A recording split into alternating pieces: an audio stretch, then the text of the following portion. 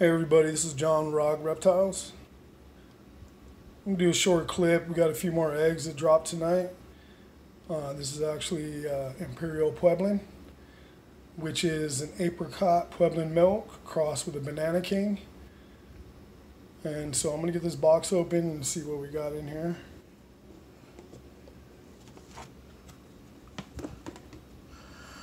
So this is her first clutch. Um, looks like she's got a slug there, but the other ones look good. You can see four of them. I don't know, she's got another one under her. Take a look at that once I move her. So these are hybrids. I mean, they're still, you know, Lampropeltis, but they are a cross. Definitely a cross that is just phenomenal to me. Um, she doesn't have that much color, but normally these produce really bright oranges and reds, um, black. Uh, the combination of those are just outstanding to me. Really cool looking snakes. For the most part, they still look like Pueblans to me with just a twist in the pattern. Um, most of them vary. Um, this is actually a girl I got from uh, Reptiles. Um, I got a few of these. Uh, this is actually the first clutch from this girl again. Um, and these eggs look pretty good. I mean, even if there's only four, that's still good. Because these animals just look great once they're hatched out. Um, like I said, they vary in color and pattern. So take a look at that um, once they get hatched out. Post videos of those once they pip. Um, show you how I cut these eggs. Being smaller is pretty delicate process, um, but it's fairly easy. I mean, I don't recommend, recommend anybody do this, you know, if they've never done it before as far as cutting eggs.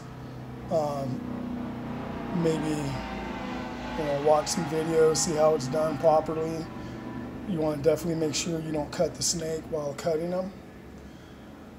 But let's get this girl off and uh, see what she's got here. Hopefully she don't grab the eggs too tight. So let me see if I can just remove this one on these two. I'll lay those to the side.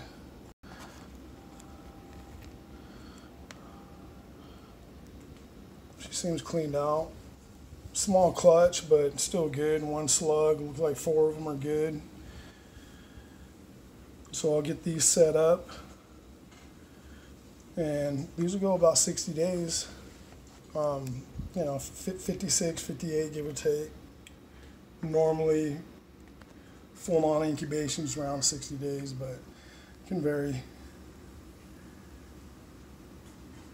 Really excited really want to see what's in these eggs.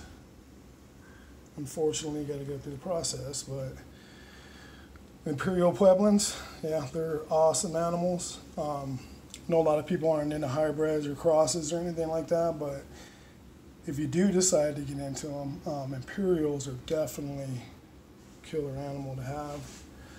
If you like a snake with a lot of colors, definitely something you want to look into. Uh, we should have more of these coming up, so we will have some available. And if we don't have what you're looking for, uh, like I said, Mesorik Reptiles produces a mass amount of these. Um, good person to go through. So I'm gonna get these eggs set up, get an egg box mixed up. Um, appreciate everybody's support. Look forward to getting more videos up. We'll go into more detail as we go on. Um, we're just starting to get this YouTube thing off the ground. Um, we've been active business probably for almost 12 years now, but I've been doing this, you know, breeding and keeping for probably about 25 years now. So I, I do appreciate everybody's support, you know, your likes, any comments or questions you guys may have, drop them. I'll be happy to answer anything. And until next time, I'll see you later.